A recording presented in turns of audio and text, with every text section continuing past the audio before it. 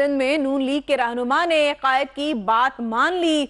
नून लीगी कारकुन ने केएल दास ने वज़न कम करने के लिए कोशिशें तेज कर दी हैं। केएल दास ने दौड़ भी लगाना शुरू कर दी है। इस बारे में बात करते हैं न्यूज़ के नुमाइंदे आज़ाद नौड़िया से। आज़ाद बताइएगा वज़न कम करने के लिए केएल दास ने दौड़ लगाना शुरू कर दी है। जी, बिल्कुल, ये मुस्लिम लीग नवाज़ के मतवाले हैं, खियलदास कोहिस्तानी, जिनका ताल्लुक जो है कोहिस्तान थाना गुला खान से है।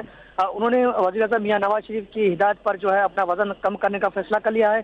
आज सुबह सवेरे जो है खेलदास कोस्तानी अपने घर से निकले और जमजमा पार्क पहुँचे, जहाँ उन्होंने जो है, दौड़े लगाने शुरू कर दी। खेलदास कोस्तानी का कहना है कि मियाँ नवाज़ शरीफ का हुक्म जो है, वो आँखों पर अभी वो वज़न कम करके मियाँ नवाज़ शरीफ के सामने सुरखरू होंगे। जी।